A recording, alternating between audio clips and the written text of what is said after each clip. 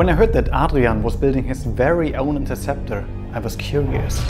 I first started to think about this project three years ago.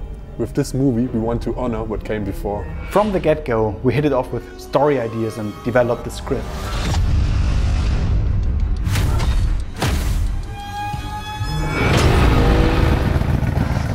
I would say the Interceptor was the initial spark, igniting the fire in everyone getting involved. This character's been played by phenomenal actors before, so why touch him?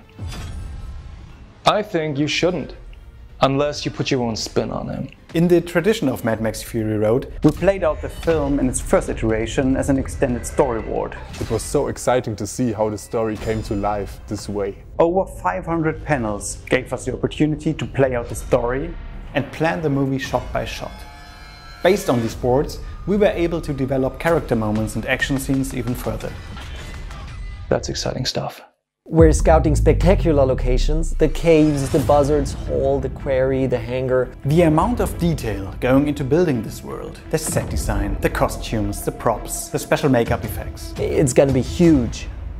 We want to present you an experience that stands on its own, but also plays well in the context of the four official Mad Max films that came before. And not copying what's been done before. Everyone in this crew is working on all cylinders to create something special. The energy and the motivation all the crew members put into this project, it's just incredible, it's amazing. Be part of the making of this unique film. It's gonna be mad.